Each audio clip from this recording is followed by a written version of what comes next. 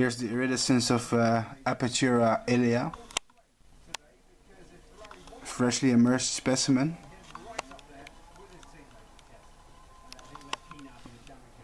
Wow.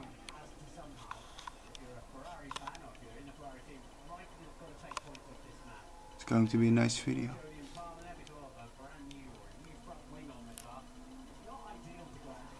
Now I have a very good angle.